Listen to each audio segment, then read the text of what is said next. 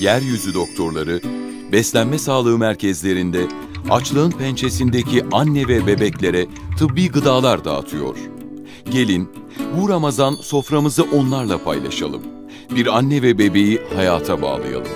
Tıbbi mamalardan oluşan Ramazan kumanyalarıyla sofranıza gülümseyen bir çocuk yüzü daha katılsın. Orada ve her yerde var mısınız?